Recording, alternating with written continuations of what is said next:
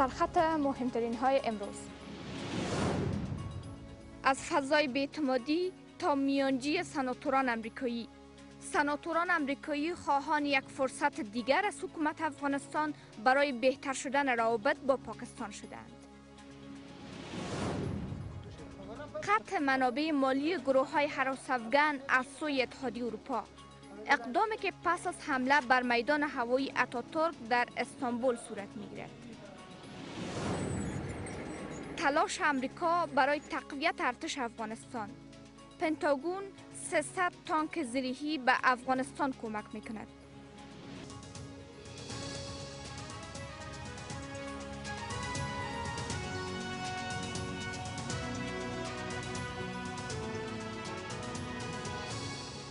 به نام خدا سلام بر شما به مهمترین ها در نیمه روز از یک خوش آمدید. رئیس جمهور غنی در دیدار با هیئت مجلس سنای امریکا بر مبارزه مشترک با حراس افغانی و افراطیت تاکید داشته و بر همکاری های دو جانبه روابط افغانستان و پاکستان و مسائل منطقه‌ای تاکید کرده است. در خبرنامه ارگ ریاست جمهوری آمده هیئت کنگره امریکا موفقیت های اخیر افغانستان در زمینه تامین امنیت و حکومتداری خوب را مایه دلگرمی شرکای بین المللی افغانستان به ویژه امریکا دانسته است. این هیئت گفته که در سفر اخیرشان به پاکستان تغییر دیدگاه رهبران ملکی و نظامی این کشور را احساس کردند و پیامشان این است که می‌خواهند فرصت دیگری برای رسیدگی به مسائل میان دو کشور فراهم شود. اتحادیه اروپا می خواهد با تهیه فهرست سیاه منابع مالی گروه های حراس افغان را قطع کند. پس از حمله حراس افغانان اسلامگرا بر میدان هوایی اتاتورک در استانبول اکنون اتحادیه اروپا در نظر دارد با اقدامات از سوی دسترسی حراس افغانی به منابع پولی جلوگیری کند. در همین راستا کمیسار قضایی اتحادیه اروپا بر روزنامه آلمانی دیولد گفته که باید منابع مالی حراس افغانان قطع شوند. به گفته این مقام اروپایی قرار است این اتحادیه از تدابیر را در این زمینه در این زمینه روی دست گیرد. امریکا 300 وسیله نقلیه زیرهی اضافی در اختیار ارتش افغانستان قرار می دهد. وزارت دفاع این کشور می گوید با ادامه نبردها در افغانستان و گسترش فعالیت های طالبان امریکا تصمیم گرفته این تعداد وسیله زیرهی را تحویل ارتش افغانستان دهد. سخنگوی وزارت دفاع امریکا گفته ارتش این کشور برای حمایت دوامدار و دراز مدت مالی و نظامی از نیروهای امنیتی افغانستان متحد است و این همکاری ها را ادامه می دهد. از سال 2000 دو به این سو ایالات متحده آمریکا بیش از 68 میلیارد دلار را برای تجهیز و آموزش نیروهای امنیتی افغانستان اختصاص داده است. در سال 2013 600 وسیله نقلیه زیرهی به ارتش افغانستان کمک شده بود. حکومت افغانستان در نشست وارسا از پاکستان به عنوان پشتیبان حراس افغانان به سران ناتو شکایت خواهد کرد. مشاور شورای امنیت ملی می‌گوید که نام پاکستان به ویژه ارتش این کشور با حراس افغانی پیوند خورده است. حنیف اتمر تاکید کرده که سناتوران امریکایی در سفر پسینشان به اسلام آباد هشدار دادند که بدون اقدام صادقانه پاکستان بر ضد حراس افغانی امریکا پالیسی انزوای این کشور را به پیش خواهد گرفت. سجاد محمدی با جزئیات بیشتر. سران ناتو به تاریخ هشتم و نهم جولای در شهر وارسای پولند گرد هم می آیند تا بار دیگر تعهد پنج سالهشان را با افغانستان اعلام کنند. در این نشست رئیس جمهور غنی و دکتر عبدالله یکجا حضور می یابند. مشاور شورای امنیت ملی اینجا آمده تا از آمادگی ها و خواستهای کابل از نشست وارسا سخن بزند. به نظر می رسد که حکومت افغانستان این بار پشتیبانی پاکستان از حراس افغانی به ویژه جنگ افغانستان را بسیار جدی گرفته است. اگر قرار باشه راجع به تروریسم گپ بزنیم و جنگ در منطقه و جنگ تروریستی علیه مردم افغانستان ناممکن است که به نقش پاکستان اشاره نشه. اصلا این جنگ توضیح شده نمی‌تونه بدون نقش اردوی پاکستان. این مسئله بدون شک در کنفرانس ناتو نه تنها از طرف افغانستان مطرح میشه بلکه از طرف اونایی که اولادای خود روان کردن به افغانستان تا در برابر توریسم منطقوی بجنگن. اضافه از سه هزار و چند صد نفر از جوانانشان در اینجا کشته شد. این کشورها همش می‌خواین یک توضیح داشته باشند که بالاخره کی هست که از تروریسم حمایت می‌کنه. یک هیئت از سناتوران امریکایی به رهبری جان مکن و لنز گراهام چند روز پیشتر به اسلام آباد رفت و اکنون به کابل آمدند. آقای اتمر می‌گوید این هیئت هشدارهای جدی به پاکستان داده است. تاکید از اونا بر این مسئله بود که شدیدا از دولت پاکستان خواستار همکاری صادقانهشان در مبارزه با تروریسم شد و به پاکستان یادآوری کردند که پالیسی انزوای پاکستان یکی از پالیسی های عمده آمریکا خواد بود مگر ای که در مبارزه با تروریسم همکاری بکن. با این هم مشاور شورای امنیت ملی می‌گوید که افغانستان پنج خواست اساسی از نشست وارسا دارد. تعهد پرداخت کمک سالانه 5 میلیارد دلار به نیروهای امنیتی، سرمایه گذاری روی قوای هوایی، ادامه پشتیبانی هوایی و کشفی ناتو و امریکا از نیروهای امنیتی افغانستان، ادامه مأموریت آموزش و حمایت این نیروها و درک واقعی مبارزه با حراس افغانی. ناتو و منطقه باید در پهلوی مردم افغانستان با شجاعت کامل ساده شود و پیام سریع نه تنها به دشمنای افغانستان ارسال کنه بلکه همچنان به کشورهای منطقه و به دوستان ما که ناتو در پهلوی مردم افغانستان استاده خواهد بود که دوست از او خوش شود و دشمن پیام دریافت بکنه که مردم افغانستان تنها نخواهد بود ادامه پشتیبانی جهان از افغانستان البته وابسته به عملی شدن برخ تعهدات حکومت افغانستان است. مبارزه با فساد اداری و حکومتداری خوب از پیش شرط های اساسی جهان برای ادامه کمک هایشان است. هرچند آقای اتمر می‌گوید که از 42 تعهد حکومت افغانستان 30 درصد آن عملی شدند و 70 درصد دیگر زیر کار قرار دارند.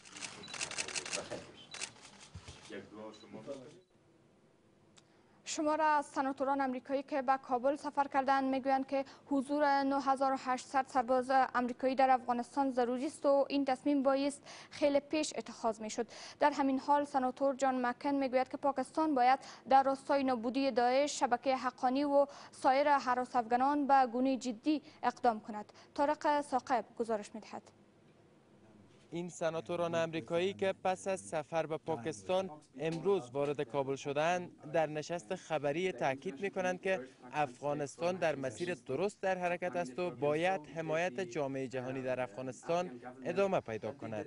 سناتور جان مکن تاکید می کند که حضور 9800 نظامی امریکایی در افغانستان باید حفظ شود و این تصمیم بایست خیلی پیش گرفته می شد یکی از موضوعاتی که برای ما خیلی اهمیت دارد تقویت نیروهای ما در افغانستان است. این تصمیم بایست خیلی پیش از این اتخاذ می شد اما باور داریم که نیاز است تا حضور 9800 نظامی ما به این کشور حفظ شود و اگر کاهش بیشتری به شمار نظامیان ما در افغانستان وارد شود به کابوس عراق دچار خواهیم شد. آنچه که خروج کامل نظامیان ما از عراق موجب پیدایش و قدرتگیری شبکه القاعده و گروه داعش در این کشور شد. در همین حال سناتور لنزی گراهام می‌گوید که در دیدار اخیرشان از مقامات نظامی پاکستان خواستند تا برای نابودی داعش و شبکه حقانی اقدام فوری نمایند. مهم این است که از دست آوردهای به دست آمده حراست صورت گیرد. افغانستان کشوری است که رویداد نهم و یازدهم سپتامبر از اینجا رقم خورد. اینجا کشوری است که گروه طالبان به طرز وحشتناک حکومت کرد. زنان و مردم افغانستان را مورد اذیت آزار قرار داد. از بن لادن به عنوان یک مهمان محترم پذیرایی کرد. پس مهم است که ما کمک کنیم افغانستان در مسیر درستش قرار بگیرد. من باور دارم که به مرور زمان موفق خواهیم شد این کار را انجام دهیم. این یک چالش برای ما خواهد بود. اما نهایتا ما و مردم افغانستان برای ایجاد یک دموکراسی پایدار در این کشور موفق خواهیم شد. چهار روز پیش در دو حمله انتحاری به دانش آموختگان اکادمی پلیس افغانستان تلفات سنگینی بر نیروهای بومی وارد شد. حال سناتور جودان لی از پاکستان می‌خواهد که خیمه های امن تمام حراس افغانان را از خاکش برچیند. ما از پاکستان به اینجا آمدیم. چیزی را که ما باید انجام دهیم این است که نه تنها فعالیت های شبکه حقانی را متوقف کنیم بل فعالیت های تمام گروه های عراس افغانی که از اینجا به عنوان پناهگاه امن استفاده می کنند و به گونه با حکومت پاکستان و ارتش این کشور ارتباط دارند باید متوقف شود. ما را در این راستا یاری رسانید. به تازگی سنای امریکا کمک های بدون عوض امریکا به پاکستان را متوقف ساخت و پیش های جدی مطرح ساخت. حال دیده شود که پاکستان زیر فشارهای امریکا تمکین خواهد کرد از میان 320 هزار نیروی امنیتی کشور نیم آن خیالی است. دیدبان شفافیت افغانستان در تازه ترین بررسیش آورده است که شمار واقعی نیروهای امنیتی کشور 120 هزار تن می باشد نه آنچه که از سوی حکومت اعلام شده است اما وزارت داخله می‌گوید این موضوع را بررسی می کند هرچند خیالی بودن 50 درصد از نیروهای امنیتی کشور را دور از واقعیت می داند همزمان در این گزارش به مسئله فساد در نهادهای امنیتی عدلی قضایی و استخراج غیر قانونی معادن هم اشاره شده است. محمد غازی رسولی با جزئیات بیشتر. نگرانی دیدبان شفافیت از فساد گسترده در نهادهای امنیتی کشور در آستانه برگزاری نشست وارسا. نشستی که متحدان غربی افغانستان یک بار دیگر کمک های نظامیشان به افغانستان را بررسی می کنند. صورت نگرفته. گوشه از این گزارش سرباز خیالی عضوی از نیروهای امنیتی کشور که حضور فیزیکی ندارد اما تمام حقوق ماهانه یک سرباز برایش پرداخت می شود که ما در دست داریم نشان میده که در بعض واحدهای امنیتی افغانستان حتی تا 50 درصد ساکر و پلیس خیالی وجود دارد. و و تقرری ها به اساس روابط صورت می‌گیره دلایل و شواهد کافی هم وجود داره که گزارش ها بی اساس نیست. مسئله اولی که وجود داره اینه که متاسفانه فرار از وظیفه در افغانستان سطحش بسیار بلند است. و چون این فرار وظیفه بسیار بلند هست کسایی که در آمرین از این فراری ها هستن اینا رو به موقع به وزارت های دفاع و داخله گزارش نمیدن. پاسخ وزارت داخله اما در این مورد چیز دیگر است. موجودی را که ما داریم طبعا متفاوت از با آنچه که اعلان کردن از طرف گروپ دیدبان. اما ما هرگاه همچه موارد مطرح شده تعهد موجود بوده. تلاش کردیم که خالیگاه ها را در پلیس افغانستان پر بکنیم. دیدبان شفافیت در حال نسبت به وجود فساد در نهادهای امنیتی و دفاعی کشور ابراز نگرانی کرده که در روزهای پسین حکومت افغانستان مرکز جدیدی را برای مبارزه با فساد ایجاد کرده است. دیدبان شفافیت با که از تشکیل این نهاد استقبال می کند اما می‌گوید یک نهاد حکومتی است و امکان نظارت بیرونی و مستقلانه از کارکردهای آن وجود ندارد. نیاز به ای است که حکومت افغانستان به شکل جدی و جامعه جهانی تعهدات را داشته باشند که واقعا مبارزه با فساد را یک امر عملی بسازد در سکتور امنیتی خصوص در کنار این دیدبان شفافیت همچنان بسته پیشنهادی را به منظور کاهش فساد در نهادهای امنیتی برای جمهور غنی فرستاده است. دسترسی بیشتر مردم به اطلاعات حسابدهی تعقیب پرونده های بزرگ فساد و موارد دیگر از پیشنهادهای این نهاد برای جمهور است. ده تن از مسئولان وزارت امور داخله به اتهام غفلت وظیفوی در پیوند به رویداد روز پنجشنبه به دادستانی کل معرفی شدند. از سوی هم محمد حنیف اتمر مشاور شورای امنیت ملی هشدار می‌دهد که حکومت افغانستان انتقام این کار هراس افغانان و پشتیبانان آنان را خواهد گرفت. آقای اتمر همچنان تاکید دارد که غفلت وظیفوی نیروهای امنیتی به هیچ عنوان قابل توجیه نیست. ده کارمند بلندپایه وزارت امور داخله که وظیفه هایشان روز یک شنبه از سوی رئیس جمهور به حالت تعلیق درآورده شده بود امروز به دادستانی کل معرفی شدند. کسایی که قبلا اعلام بودن امروز دوسیشان به سارنولی نظامی ارسال شد و خودشان هم اعزام شدن که در جریان تحقیقات تکمیلی آنچه سارنولی محترم باز تصمیم دیدن شما را در جریان خواهد ماندن و کسای دیگه هم که این قضیه اگر مسئولیت بردارن اونا را اونا احضار می‌کنن از میان این ده تن مل پاسوال محمد حسن عالمی رئیس دفتر معینیت اداری و سرپرست فرماندهی عمومی جلب و جذب. مل پاسوال عبدالمجید صادقی رئیس ارکان فرماندهی عمومی جلب و جذب.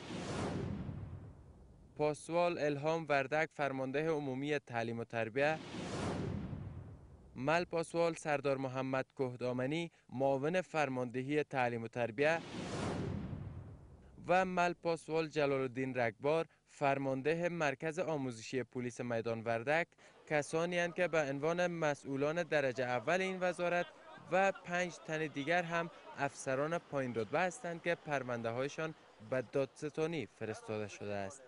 حالا این اقدام حکومت با استقبال شهریان کابل روبرو شده است. یک اقدام نیک است و امیدوار هستیم که اینا کسایی که در این حادثات دست دارن نوبت در سزای اعمال خود برسند طابق قانون جزای افغانستان بر از اونا جزا داده شود تا در آینده کسای دیگه که هستند در رأس ارگانهای امنیتی اونا باید مسئولیت پذیر باشند.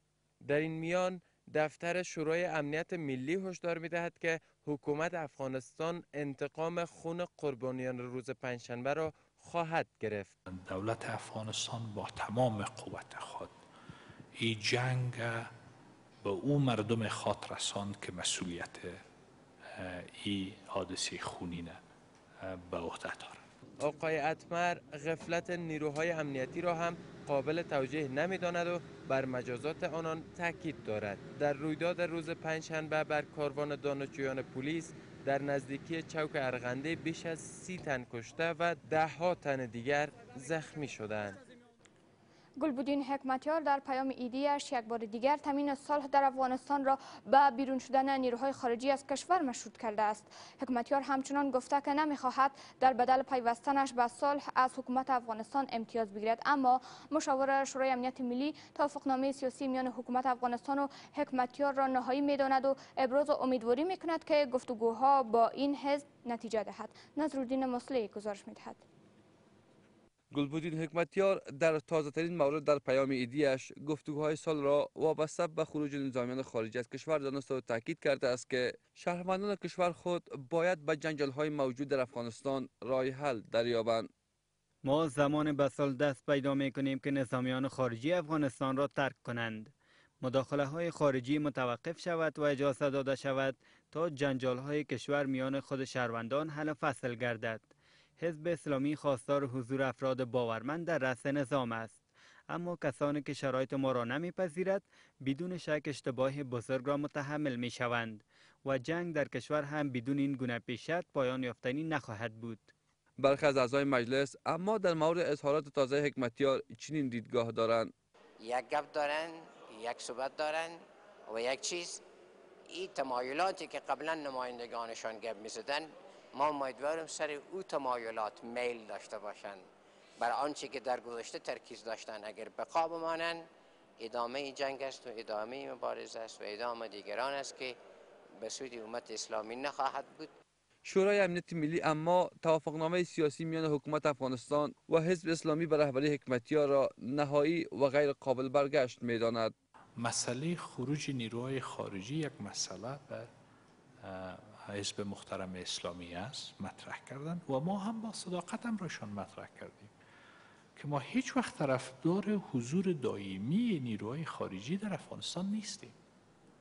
و درست دو سنده که امضا شده موافقتنامه دو جانبی امنیتی و موافقتنامه با ناتو امی مسئله را صریحا هر دو جانب به او متحد شده. بیشتر حیات حزب اسلامی با سه پیشرت تازه از پاکستان برگشت. خروج نیروهای خارجی و سهم این حزب در کمیسیون های انتخاباتی از درشترین خواستهای آنان بود که ظاهرا از حکومت افغانستان رد شد.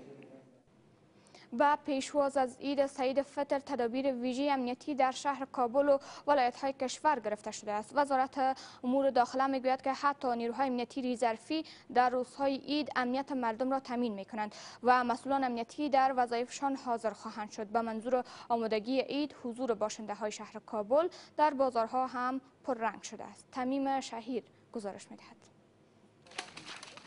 وزارت اطلاعات و فرهنگ استفاده از اسلحه پلاستیکی و پتاقی را خلاف فرهنگ مردم می داند و سخنگوی وزارت امور داخله هم درباره آمادگی های نیروهای امنیتی در روزهای به مردم اطمینان می دهد. معین وزارت اطلاعات فرهنگ می گوید که در عید گذشته 116 کودک به علت استفاده از اسلحه پلاستیکی و پتاقی زخم برداشتند و آمار می دهد که استفاده از اینها 80 درصد افزایش یافته است.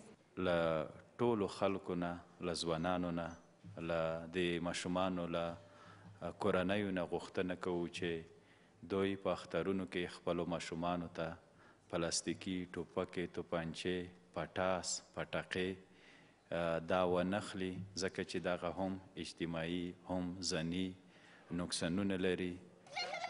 پلیس هرچند استفاده از این سلاح‌ها و پتاقی‌ها را ممنوع اعلام کرده است از سوی هم برنامه های امنیتی از 25 رمضان به این سو در شهر کابل و ولایات آماده شدند و نیروهای امنیتی تدابیر ویژه امنیتی را در روزهای عید خواهند گرفت.